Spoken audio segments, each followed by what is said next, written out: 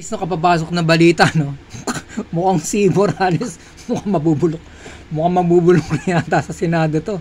Habang meron tinatawag na recess, ano? Mukhang ayaw ni Jingo Estrada ang pakawalan. Eh.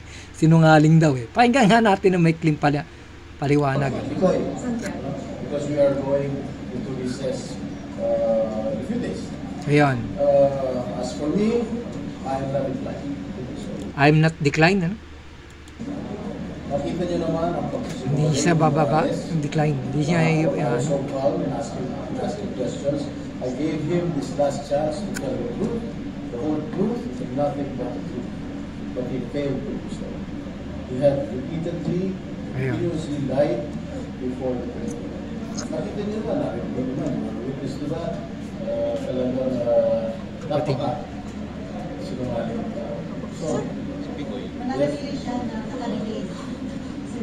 Yes, but uh, it depends. Uh, man, mananatili siyang naka-detain. yes. But it depends, sabi. if they can get it uh. Uh, that's the time we have no choice.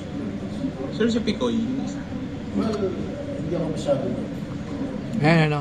Bali, ang ano rito, ah, mukhang bubulukin si Morales sa sa ano sa Senado habang naka-recess. Siya yung pakulong eh. Mukhang yung Picoy makakabala, makakalabas kasi sabi ni sabi ni Senator Bato ah magre-recess. Kaya papakawalan na yata niya.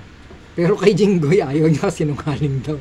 Yun ang pumunat. Maraming salamat sa inyo. Grabe ah. Grabe, mabubu- mabubulokin talaga si Morales.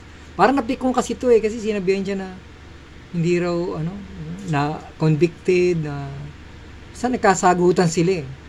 Kaya lang pumu- parang wala kasing karespeto si ano, yung Morales na senador. Yun na pumunat, maraming salamat sa inyo lahat.